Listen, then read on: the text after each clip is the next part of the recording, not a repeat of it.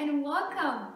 I'm so glad you're all here. We are now gonna be talking all about the colocasia, specifically the black coral colocasia, also known as taro, if I'm not mistaken.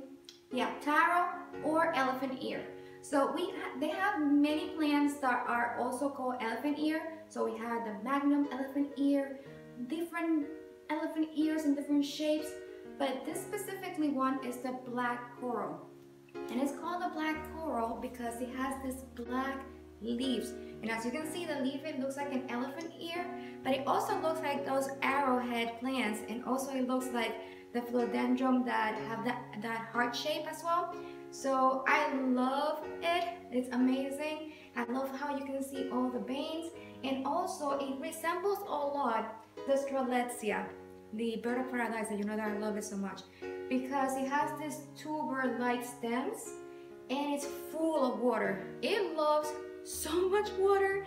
It's insane. So this is a perfect plant for any kind of person that is like me that likes to water their plants and every time that you're watering the plants you feel like you know you're distressing away and you kill your plants if you overwater them so you cannot do that with every single plant but with this one with this one you can go ahead and overwater it all you want because it loves water insanely it's great plant to have it next to a pool to have it next to a pond. It's amazing. It just loves water so much. So it has, I haven't seen that it has been getting me a little bit of shoots to the side. So I'm gonna see if I can propagate it here with you guys and also give you some tips of how to take care of it. So as you can see, the plant, the plant has some areas that are really dry. So when it's getting very dry, you can see that it starts like drying out completely and I left it there hanging so that I could show you what we're gonna be doing. Um, one of the things that you're gonna do, if you see that it's drying out, you're gonna take a scissor, any kind of scissor or plier and just cut it away at the base, right?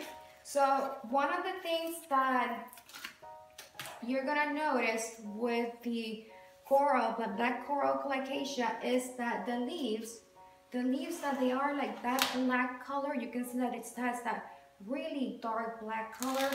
And so it gets darker the more it is exposed to the sun. So this is a plant if you want to have that black color you want to put it in a direct sunlight area that it can take direct sunlight for at least six hours a day and that way you're gonna enjoy that black color in my case i'm gonna leave it indoors because the zones that this plant can be in, it can be up to the zone 7. Zone 7. Below that, it will not survive. We are right now in Maryland in the zone 7. And I can actually risk it and put it outside. But because it's such a baby and I don't have propagation, I want to leave it inside first, propagate it, and then I can experiment and put it outside. And if for some reason it dies, then I know that I have another one, another backup that I can keep. This in the bottom is gonna have some bulbs, just like the tulips and the all the other plants that we use for spring that we plant now in, in fall. This also has bulbs in the bottom. So many people just take the bulbs and plant them then in the bottom in the soil and leave it there until next season when they're gonna start blooming again. I might do that later on, but for now, I'm gonna just enjoy it indoors. It's a great plant to have indoors if you guys have a studio, an apartment, or anything like that. It's a super fancy plant. You know that I love plants that have a big statement. I don't have a lot of plants. Well, I do have a lot of plants. I have like a hundred and some plants. But the plants that I do have is because I really, really love the shape that they have and I really, really love how they look. Just don't buy something to buy it. Buy it because you really love it. And I really love this plant. So again, we're just to go ahead and clean around it. So I see another one in here. So I'm to go ahead and clean it up.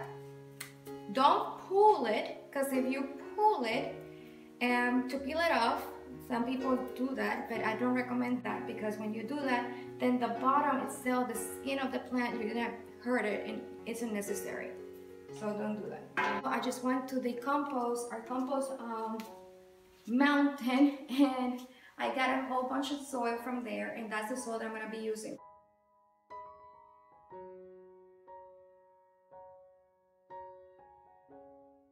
Many people go all fancy out buying all kinds of different material. For me, it always works just any plain soil and that's it. Just always keep your soil that you're gonna have inside the house aerated. So we're gonna always take the top soil and we're gonna then just aerate it with the fork. And I showed you that before with a Strelitzia plant because if not, you're gonna be getting all kinds of gnats and stuff like that. So let's go ahead and start with the process of transplanting it. So the first thing you're gonna do is you're gonna water it, and I already did that. And then you're gonna start pressing around the corners of your pot. That way it's gonna come out easier.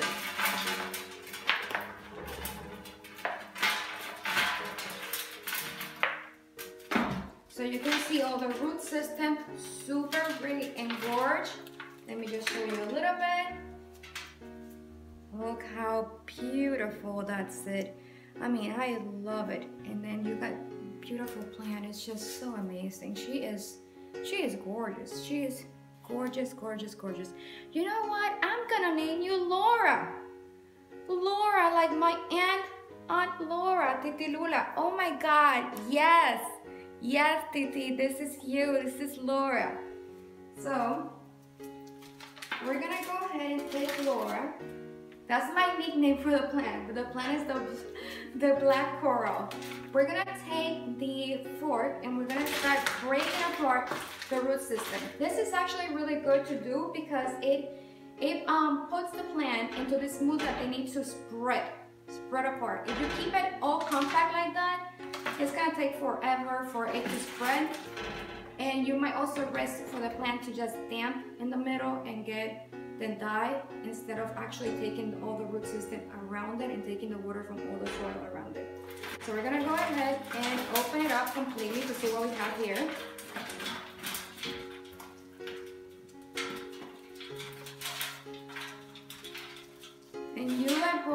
Go ahead and put some um, gloves. I just love sometimes working with my hands, so bare hands instead of gloves. So I'm just doing this, but you at home, go ahead and put your gloves on. Let's see what we have here. Oh, I can see a bulb already. Let me see, that's it. Let's see quite well.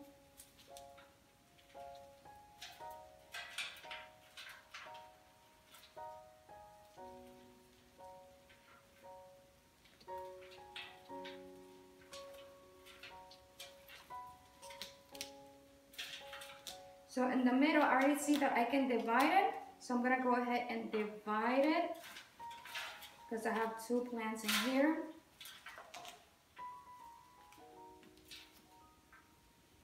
So right now, I don't see no bulb. I only see the root system without no bulb. I mean, there's a little tiny bulb right there for me, but it's not big enough.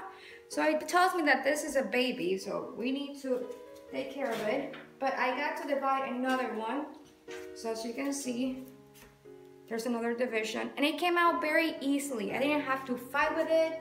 I just follow along all the way to the trunk until I found that there was another division and it was very easy to put the pulling apart. So if you see a plant and you're trying to divide it and it looks like it has many things like this one over here, is coming a shoot right next to it, but it's not ready to divide because as you can see, the shoot, let me just take this treble out of, out of there, that shoot over here is still completely connected to the main stem. It hasn't created its own root system. It hasn't created its own little tiny bulb. So I need to wait for that. So if you feel that the plant is ready for division and you get to the trunk and you see something like this, do not risk it because now you're gonna kill the plant. Okay, so just go ahead and enjoy a little bit longer. You can see how it comes out. There's more stems are gonna be coming out of here. It's gonna be so cute. And you see that little tiny one over there. That's gonna be another division is gonna come out later on. So why risk the plant? Why risk this division? Because I'm gonna just kill it. So just leave it there so it can keep on growing. A few months later, then you can go ahead and do the division. But this is amazing. And the same is with this one over here. We have another division right here in the side and you can see it right here. But it's not ready to be divided because again, it's connected, connected directly to that stem and it's not ready to be divided yet. Once it's ready to be divided, it will happen just like this one. You can see that they have two different big stems, two different big stems and then they just came apart very easily. I didn't have to fight with them. So that tells you that they're ready to be divided. This one doesn't have a completely separate stem, it's still connected. So if you don't have them still separated, then don't divide them. Okay, so we got two beautiful divisions. Well, from the mother, we got another one, so we have two in total. I'm gonna keep them in this pot because I want the pot to look really big, really fancy. And later on, if I wanna divide them, just, I just need to take one corner and put it on side in another pot. Now I have this over here, a whole container full of soil. So the first thing that I do whenever I'm transplanting is I like to put at least four inches in the pot of soil. It can be two inches if you want, but at least four inches of soil or two inches of soil, that's okay. Something in the bottom so you don't put the plant directly touching the, the, the pot. Okay, so let's do that right now. And I recommend to just have a tiny pot or a cup or something like that. That can help you then to put this, the soil in there.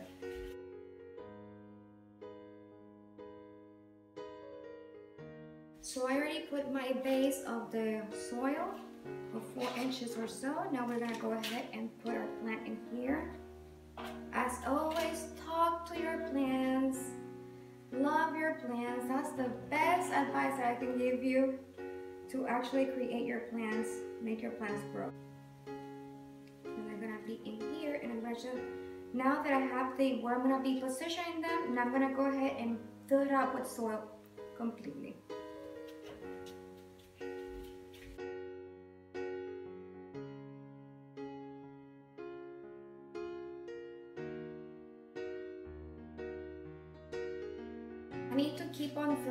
But because the pot is gonna be very heavy, I'm gonna put it in this in the corner that I'm gonna be um, having the plant, and then I'm gonna fill it up to the top so that it doesn't, it's not too heavy to carry it to the location that I'm gonna be putting it in. But it's looking so good! I mean, it's amazing. And I'm gonna show you how we're gonna clean it up because we need to clean the leaves. It gets lots of dirt and debris and the spider gnats love it so you need to keep it cleaning. But we have a spray that my aunt Tita Wilda, she is an amazing florist. She showed me this spray and I swear that spray is amazing. I don't use it that much but I always like to give it a little shiny to the, the, the leaves every now and then and that is unbelievable. So let's put this first over there in the corner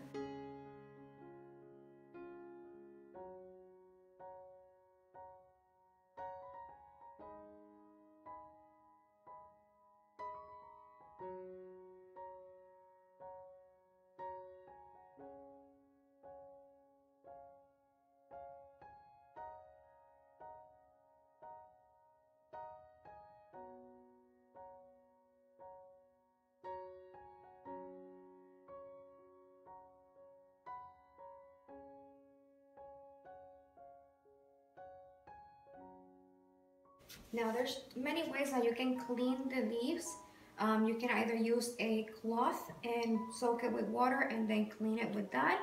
You can spray it with water, but I have found that that leaves um, water drops marks, so I prefer to use then a cloth with water and just, you know, clean it as I go. You can also use Vaseline or even oil and just uh, put on your fingers and then just put it around the leaf but I don't prefer that because if there's dust it just sticks into the um, whatever. It's like greasy and it's difficult to clean it then later on. So I prefer just water the most. That's what I do all the time. And then if I have like in really I want to show it off then I use this the leaf shine. This is my aunt um, that is a florist. Awilda, she's in Puerto Rico. She is amazing. She has so many great techniques. I used to work for her, so that's why I know so many things about plants. Plus all my family, they're just all come from farming and all that. So I, I know a lot about plants because of their family. So thank you all. So she introduced me to this and so I don't use it as much because you know that I like to have everything organic and nothing that it could have, you know, chemicals. But every now and then I just spray it a little bit to give it that extra shine. So first we're gonna clean it and then we can go ahead and spray it. So I'm just gonna clean it with a cloth very smoothly, okay? You don't wanna break it as you're, as you're cleaning it. And whenever it needs water, you're gonna see that the plant is gonna start getting corrugated.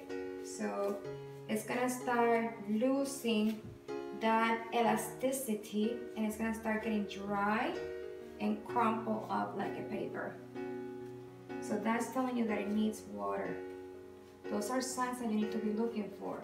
If you see also um, marks of like a circle in yellow, that means that it has too much sun. So you need to move it away from the sun. Something like that. Okay, so now we're good with cleaning it. You can do it also in the bottom, but I have cleaned it very well in the bottom, so I don't need to do that. But that don't don't forget the bottom because that's where the spider they love to go into the bottom of the leaf. So clean that as well. Está hermosa. Can you say hermosa? Beautiful, hermosa. Yes, this is hermosa. So now we're gonna go ahead and spray it with the uh, leaf shine. So just a little bit.